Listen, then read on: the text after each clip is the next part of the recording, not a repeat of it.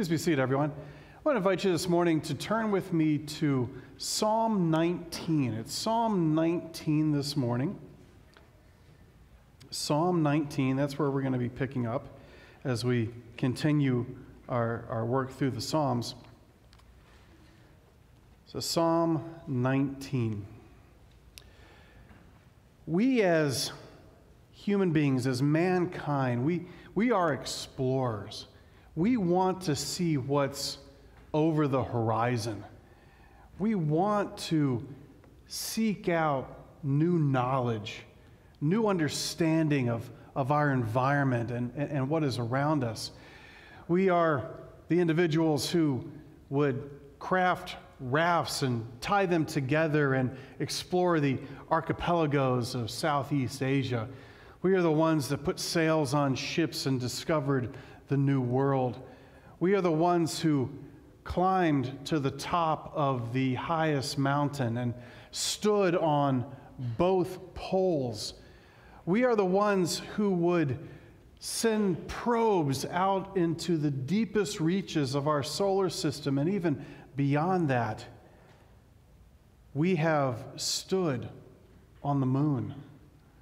We love to explore. In the words of my favorite explorer, Buzz Lightyear, our motto is to infinity and beyond. We are explorers. We like to explore. Now, this morning, Psalm number 19 speaks to that, that desire within us that we have to explore and to increase our knowledge base. This psalm tells us the final frontier as it will, where we go for ultimate knowledge. So we have opened in front of us Psalm 19. The heavens declare the glory of God, and the sky above proclaims his handiwork. Day to day pours out speech, and night to night reveals knowledge. There is no speech, nor are there words whose voice is not heard. Their voice goes out through all the earth and their words to the end of the world. In them he has set a tent for the sun, which comes out like a bridegroom leaving its chamber, and like a strong man runs its course with joy. Its rising is from the ends of the heavens, and its circuit is to the end of them, and there is nothing hidden from its heat. The law of the Lord is perfect reviving the soul. The testimony of the Lord is sure, making wise the simple. The precepts of the Lord are right, rejoicing the heart. The commandment of the Lord is pure, enlightening the eyes.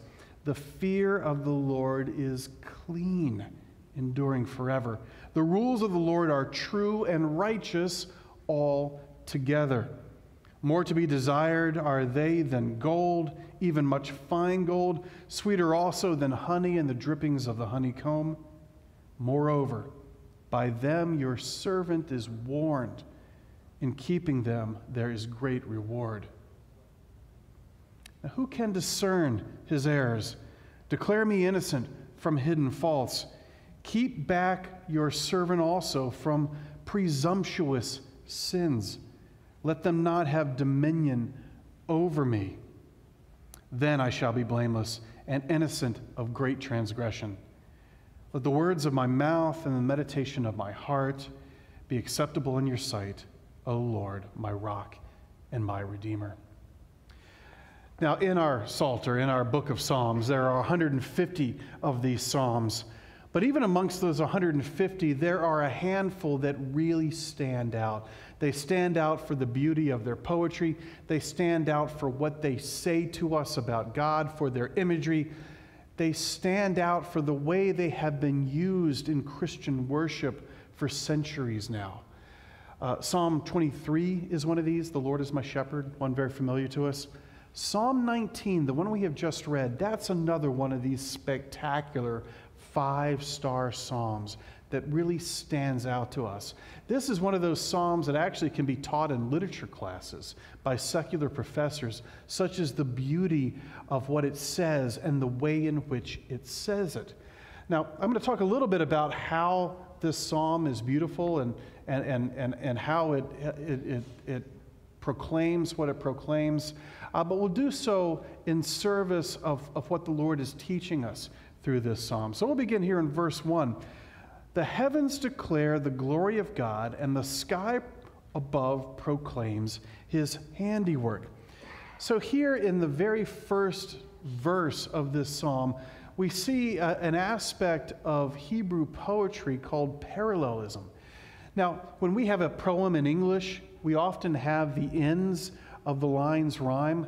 Uh, Mary had a little lamb whose fleece was white as snow, and everywhere that Mary went, the lamb was sure to go. Yeah, it rhymes, right? It rhymes.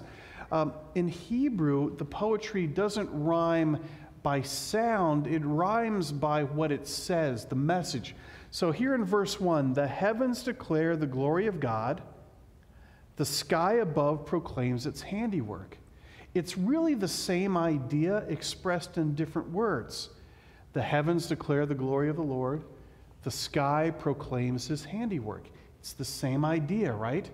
Expressed in different words. So we see it here at the beginning of the psalm. We see it when we get to verse 7 when it talks about the law of the Lord is perfect. Uh, it's going to go on to say the same thing the law of the Lord is perfect, but in a bunch of different ways over the next two or three verses. This is Hebrew parallelism. Now, why do I point this out to you? This isn't a literature class, okay? Well, here's why God gave us His word, which is frankly what a lot of this psalm is about. And he tells us to take his word and to share it with the nations around us. Well, in order to share it with the nations around us, what do we have to do? We have to translate it, right? And Hebrew poetry, the, the, the poetry that we see in the Psalms, that we see in the prophets, it is eminently translatable because what we are translating are thoughts and not sounds. Sounds would be different in each language, right? But the thoughts the thoughts are the same. It's amazing that, that when God chose a language to reveal himself in, he, he chose a language that is easy to translate to other languages.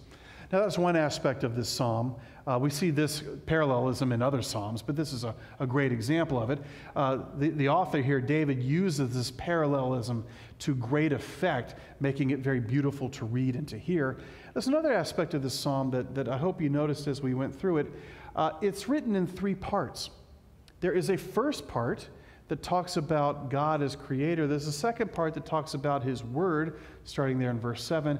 And then there's a third part which talks about the psalmist, David, and, and the hearers, ours, reaction to uh, the first part and the second part of this psalm. So we have part one, part two, and then part three, which is our reaction.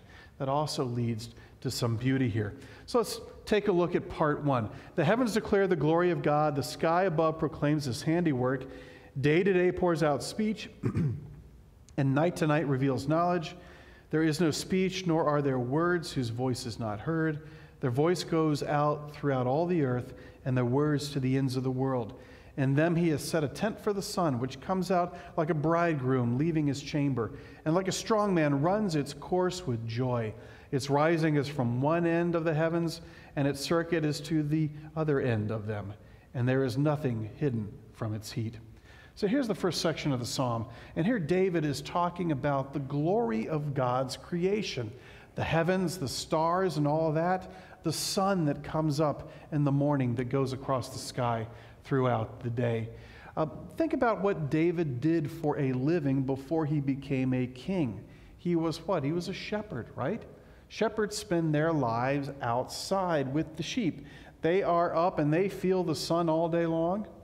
And then at night, they light a fire. And in that arid climate, the temperature would drop rapidly. And there's nothing to do after the sun goes down except lie on your back and look at the stars.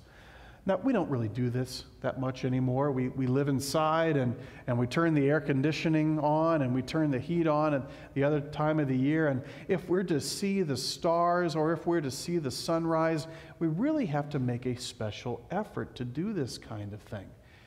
But sometimes we do this. Uh, usually it's during the summer when we're on vacation. and we'll go out to a lake or to the beach or so forth, and we'll seek out these opportunities. Now, there have been times when I have been amazed at the stars that the Lord has put in the night sky. I remember one specifically, I was uh, standing on the edge of a cliff overlooking the Pacific Ocean, and there was nothing between me and Japan except for water. And there, dark as can be, I could see the Milky Way up above me, like an arc going across the sky.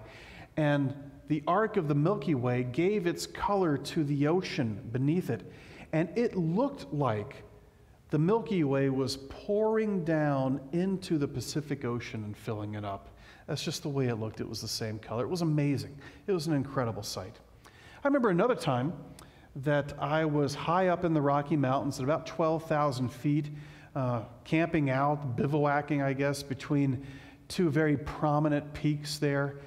And the stars were just, uh, it, it, it, looked like you could reach out and grab. A, Jupiter and Saturn were both out at that time, and it looks like they were just jewels that you could reach out and pluck from the sky and, and put in your pocket. And what was even more amazing about that time is it was in a saddle in between two peaks. There was a peak to the north and a peak to the south, and they blocked out sections of the, of the night sky. But to the east and the west, there was nothing. The, uh, the, the mountain fell off about 5,000 feet in, in each direction. Uh, and so you could see to the horizon both ways. And it appeared, and I know this is just an optical illusion, but it appeared to me that following the stars all the way down to the horizon, those stars were actually below where I was. I don't think that's really, you know, true. Uh, but but it, it, it, appeared that way. It appeared that I was standing on the shoulder of a giant who had thrust my head up into the stars, and the stars were actually below me. It was an incredible sight. Have you ever been somewhere where you have seen the night sky like that, gone camping somewhere out where it's dark, and, and really studied what God has created? Well, David has. And what David is saying is that the very night sky declares God is Lord. He has created, creation is good. Praise God. This is what all the stars are saying when they twinkle. Okay? Now, what happens at sunrise? The sun comes up. Uh, and, and when the sun comes up, we now have this new light that God has given us. And it can be incredible too. That time that I was up high in, in the Rocky Mountains, um, we were on the side of a mountain, and when the sun came up in the east, it hit the mountain that we were on the side of, and it cast this perfect pyramid of a shadow to the west, all the way to the horizon. This shadow of the mountain caused by the sun looked like it was covering all of the state of Idaho. It was incredible. I remember another occasion when I was on Smith Island, which is in Maryland, but, but really it's, it, it's its own world. It, it's in the middle of the Chesapeake Bay. And when I say island, it, it's a collection of mud and grass that sticks about three inches up out of the Chesapeake Bay. If you spit, you would sink the whole thing, okay? But people have lived there, watermen who, who go and get uh, oysters and crabs and so forth, and they've been in this insular community for hundreds of years, and so they speak with what sounds like a British accent. It's almost like uh, hearing Charles Dickens' world come to life when, when you're there. Uh, we, we, stayed at a Victorian house where there's a bed and breakfast, uh, and there's no trees, or hardly any trees. It's, it's mostly just low grass and structures, uh, houses and, and piers and so forth. Well, in this house, when the sun came up, there was nothing to block the sun. There were no trees, there were no buildings, there was nothing. So the sun came up and it came directly into our window like a laser. You're not sleeping through the sunrise on Smith Island. And I remember talking to the innkeeper afterwards and telling him that, yep, we got up at 5:36 when the sun got up, or whatever time it was. And he said, Oh yeah, here the sun comes up like thunder. Have you had experiences like that, maybe going to the beach to see the sunrise or, or, or so forth? It is amazing. And when the sun rises and when the sun sets, what we are told is it is declaring the glory of its creator.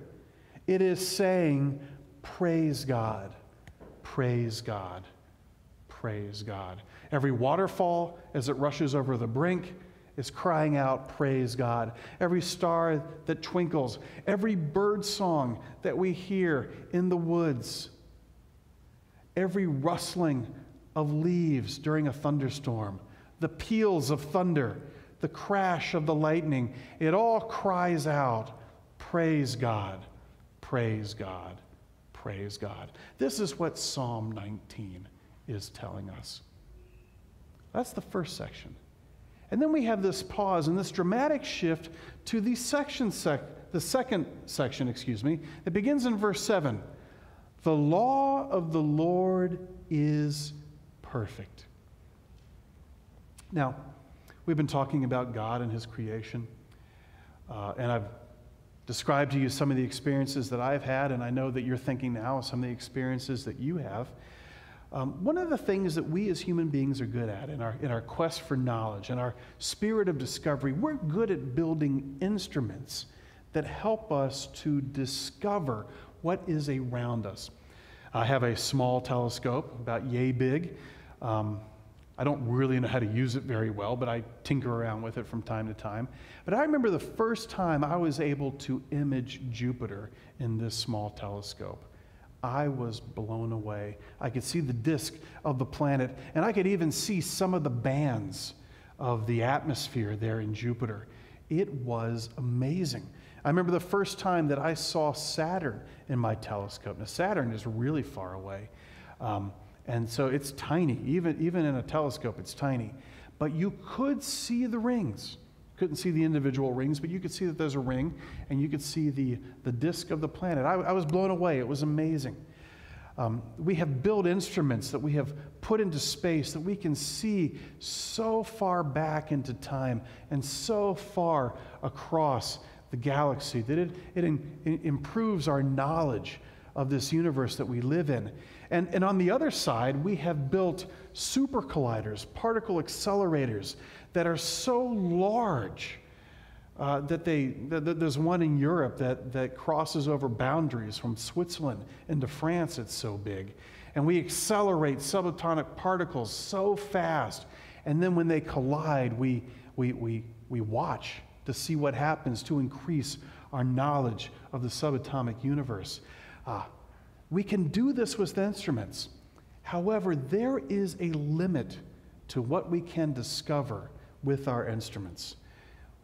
We can, we can know that there is a creator, but we can't really learn much about that creator. Think about it this way if you have a painting by a painter, you can tell that the painter used particular pigments.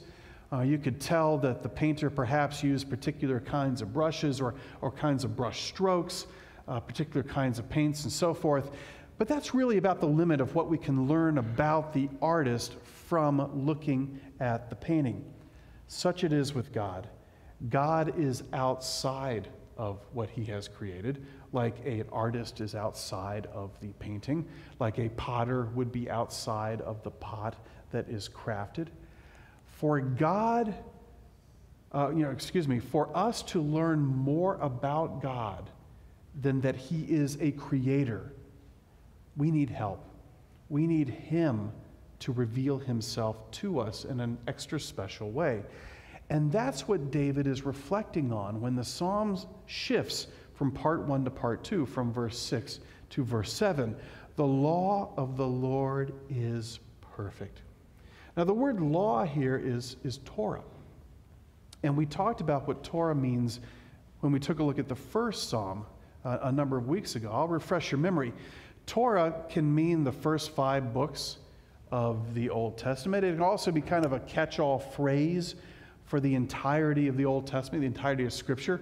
Jesus would refer to uh, Scripture, the Old Testament, uh, as the law and the prophets, Torah and, and the prophets. It's kind of this catch all phrase. But its, its definition is instruction or, or teaching. That's really what it means. And that's how David is using it here the instruction the teaching of the Lord is perfect. Now, another thing I want to point out to you is that in verse 7, David shifts how he addresses God. Look at verse 1. The heavens declare the glory of God. In our English translations, we have the word God there. Verse 7 The law of the Lord is perfect. It's not God anymore, it's Lord. And if you look closely at your English translation, probably the word Lord is spelled in capital letters. All four letters are capitalized. That's an indication of the Hebrew word that's used there. Okay? So back to verse 1. The heavens declare the glory of God. The Hebrew word used here that is translated God in our Bible is the word El. El. We would transliterate that E-L. Okay? And it is a generic term for God. So in Hebrew, they could use El to mean God Almighty who created all things, like David uses here in Psalm 19. They could also use it to speak of a pagan God, like a god of the Canaanites, like the god of thunder that the Canaanites worship, a, a pagan god, or the god of the Nile that the Egyptians worship. Now, we use our English word God in a similar manner. It can mean God who we address our prayers to. It can also be used when we are talking about uh, a pagan god, a, a god of thunder. Uh, I am the god of the internet. I'm sure people have said that kind of thing before. You see how that's used? It's kind of a generic word for God. So when David is talking about God's creation, he uses the generic word El for God. When he gets to verse 7, and he starts talking about God's instruction, his teaching. He uses a different word. The word translated in our Bibles as Lord, all capital letters, is the name Yahweh. So every time in your English Bible that you see Lord spelled out in capital letters like that, it is a translation of the divine name Yahweh. Now, this name, Yahweh, it is very specific. It refers only to Almighty God. It doesn't refer, it can't be used for any other like pagan gods or, or, or, what have you, or any kind of generic or general sense like that. It is a proper name. And it is given to us by God. It was given to Moses in the burning bush. You'll recall in the book of Exodus, uh, God appears to Moses in a in a divine sign, this, this bush that is burning. It is, it is being consumed by fire, but doesn't burn up. And he says to Moses, I have called you to act as my instrument. I'm going to send you to Egypt. You are going to appear to Pharaoh, and you are going to command him to let my people, the children of Israel, go. Now, Moses doesn't want to do this, of course. God tells him he has to do it, he's going to do it. Moses then says to God, God, when I go, and speak to your people, the Israelites. And when I go and speak to Pharaoh, who shall I say is sending me? What's your name, in other words, is what he's asking. And God says to Moses, My name is Yahweh. And Yahweh translated means I am that I am, I will be that I will be, I was that I was. It's really the verb for being. It is I am, written in all capital letters across the sky. That's God's personal name. And the point is, Moses would not know this name unless God gave it to him. There's no way that Moses would have known this about God, his name. Now, he would walk outside, look at the trees, hear the birds, smell the grass, and know there must be a creator. Just as David out there with the sheep would see the stars in the heavens, would, would see the beauty of the shade underneath a tree, would see the sun come up and the sunset, and know that there must be a creator God. But there's no way that either of them or any of us would know God's name unless He gave it to us, unless He revealed it to us in a special way. And that's what David is talking about in the second part of the psalm. All should know that there is a creator God because of creation, but God, He goes beyond that. He goes beyond the ability of our instruments to define Him and to image Him. He reveals Himself to us in His Torah, His law, His instruction, His guidance, His counsel, His word. And so, as we press the envelope of human knowledge, and as we build instruments and place them in the heavens or collide particles here on earth, as we seek to push knowledge farther and farther out, we'll learn incredible things, but we will always be limited. We will know that there must be a God, but we won't know anything about him unless, my friends, we pick this up.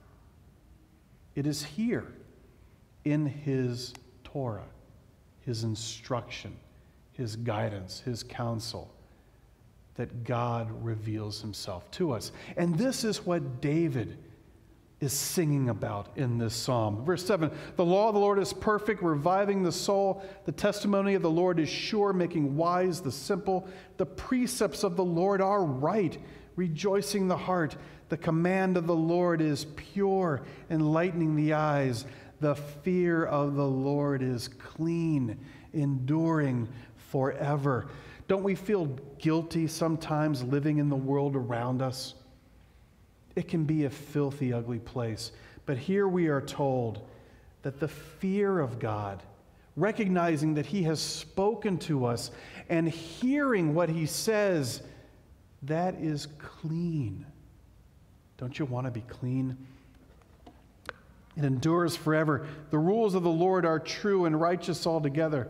Verse 10 They are more to be desired than gold, even much fine gold. They are sweeter than honey, the drippings of the honeycomb. David the poet is singing out, praising God, because God speaks to us that we may know him, because otherwise we wouldn't. Otherwise, we wouldn't. Verse 11 Moreover, by them your servant is warned, in keeping them there is great reward. We are warned against actions that can be fatal to us, can be destructive to ourselves and others. And we are told that to hear what God says in His Word and to take it to heart bestows upon us a blessing and a great reward. So, this is what David is excited about. This is what he's singing about. And so, we have section one of the psalm that praises God for his creation and says that really all of his creation is praising God. And then we have section two, which says that God doesn't stop there, that he actually tells us directly about himself. He reveals himself to us in a very special way through his, through his word, through his teaching. And that brings us to this third section, the section in which David, the psalmist, invites us to reflect on these two great truths. And, and what is David's reflection? Verse 12 Who can discern his errors? Declare me innocent from hidden faults. Keep back your servant also from presumptuous sins. Let them not have dominion over me. Then I shall be blameless and innocent of great transgression.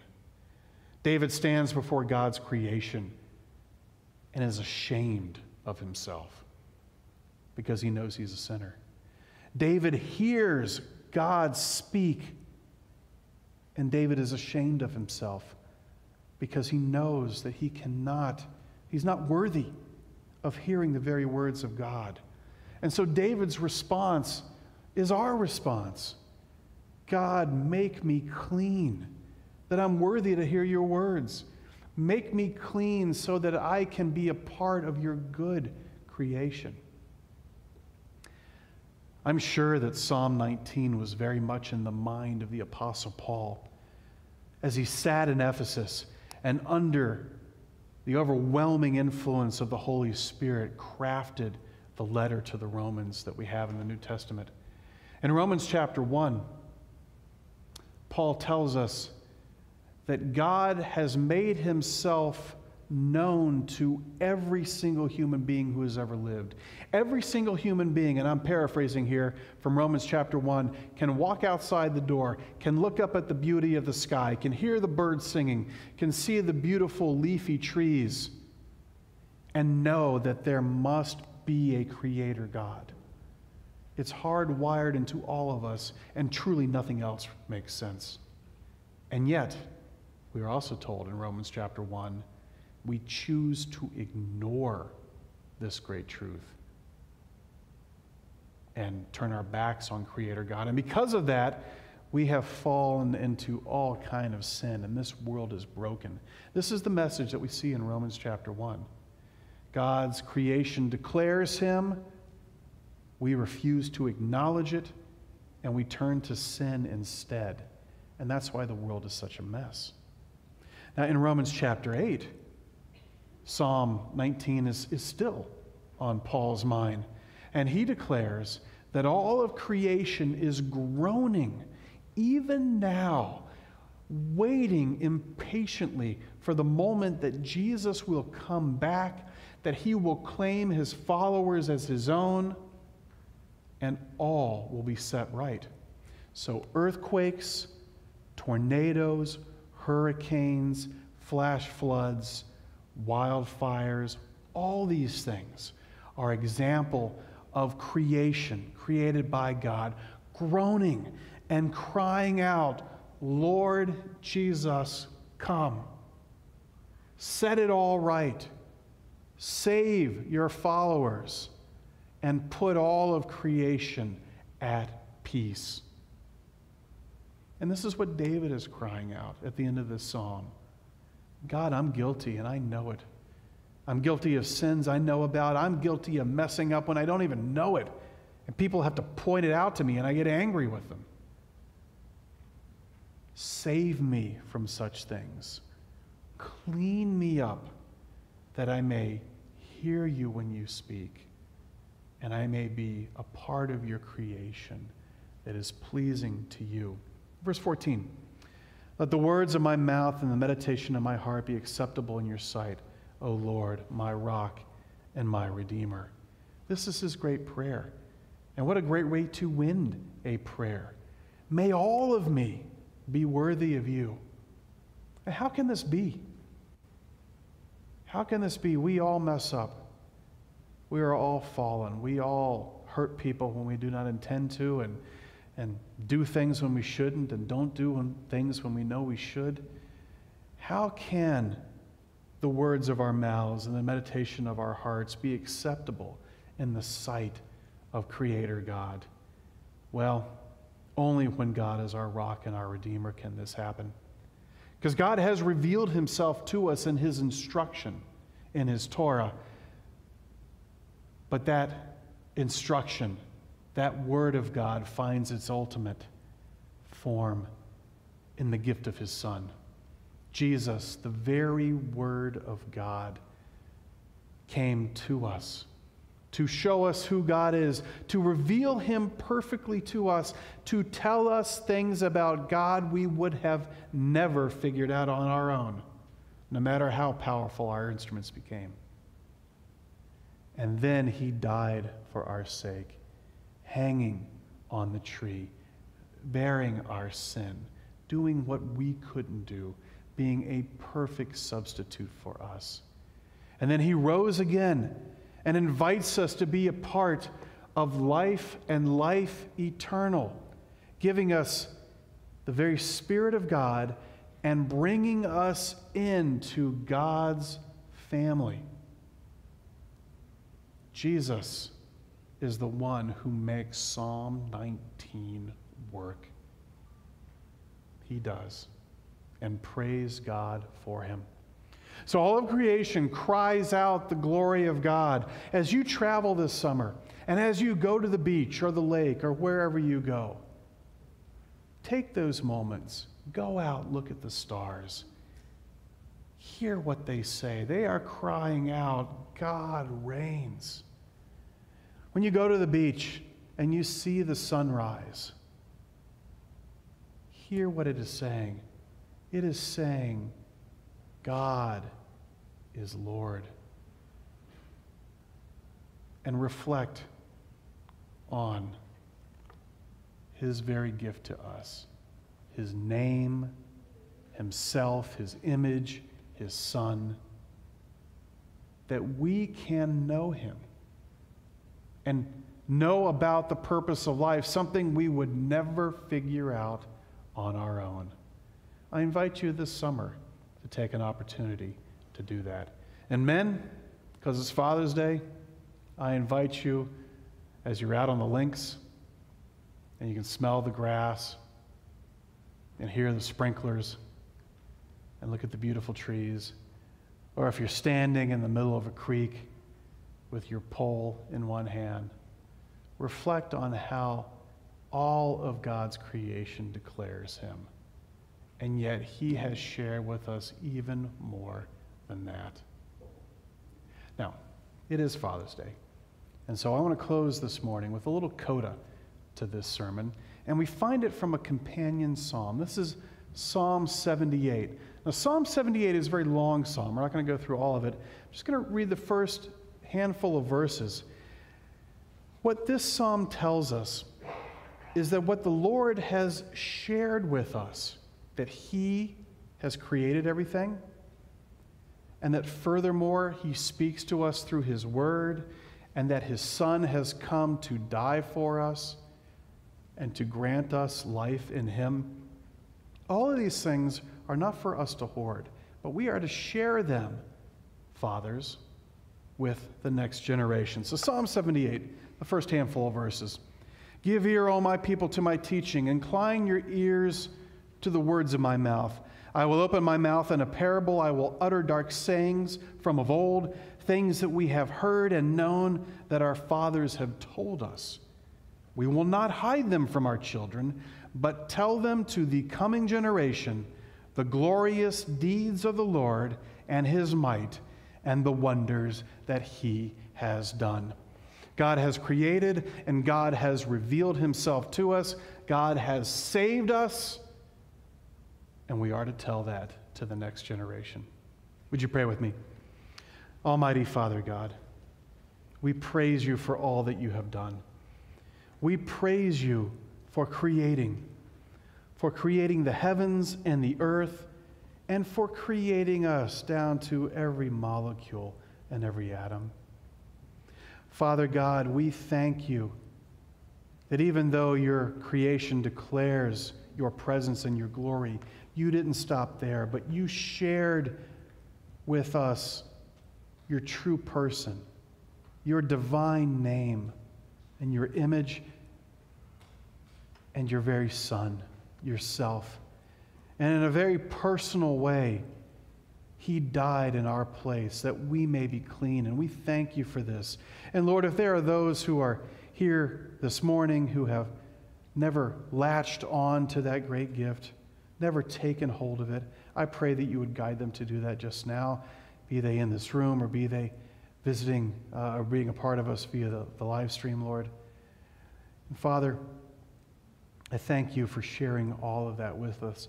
And Father, I thank you for the mission and the, and the calling that you have given to us, uh, made aware this morning, especially because it is the day that we celebrate fatherhood, that we are to pass this great truth and the means of discovery on to the next generation. And so, Father, I pray for the wisdom and the devotion to do just that. It is in the name of Jesus Christ, our Savior, that we pray. Amen.